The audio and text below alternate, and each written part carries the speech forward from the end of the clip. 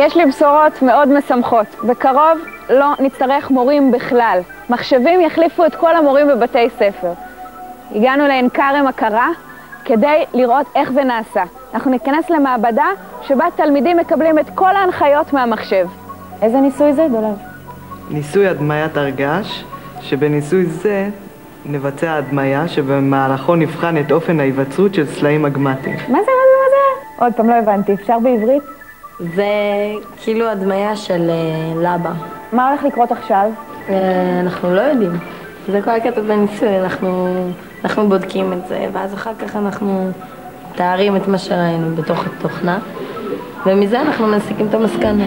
איך נראה השיעור שלך? תלמידים באים בבוקר ומוציאים ספרים ומחברות? תלמידים מגיעים לשיעור ופותחים את הספר מחברת שלהם, שזה בעצם המחשב, נכנסים לאתר שממנו אנחנו עובדים ומתקדמים בפעילויות, כל אחד בקצב שלו, לפי מה שהוא עשה, כשכמובן מי שיש לו נטייה יותר לפטפט בשיעור נמצא קצת מאחורה. מה יש בתוך הכלי הזה?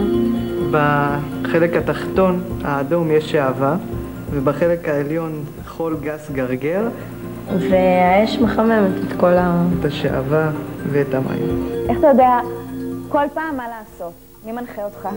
יש לנו מהמחשב הסברים ומה לעשות כל שלב ושלב. אין, כאילו הכל מובן פה, ויש לך את כל החומר. רגע, אז בעצם לא צריך מורים יותר, נכון? לא. אה, המורה עוזר, זה לא שהוא עוזר, מתי שלא מבינים. מביא כאן לפיטורים של עצמך? כי הילדים יוכלו להסתדר עם המחשבים, עוד מעט הם לא יצטרכו אותך, ועוד מעט יהיה בית ספר שלם שיהיו בו רק ילדים עם שזה נשמע לי די כיף, אבל מה תעשה? אני לא מבטל את התפקיד של המורה, אני גם לא מצמצם אותו, אני משנה אותו.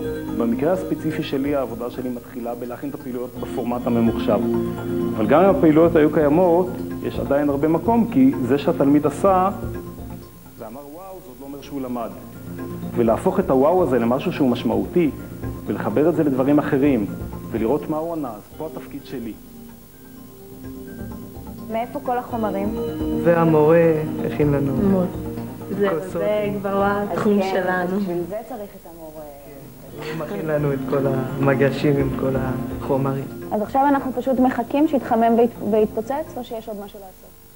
עכשיו אנחנו מחכים וקוראים. שיו! זהו, נגמר, התפוצץ, נכון? כן, זה מה שהיה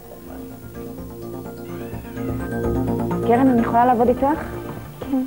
מה עושים? מה, מה מפוצצים?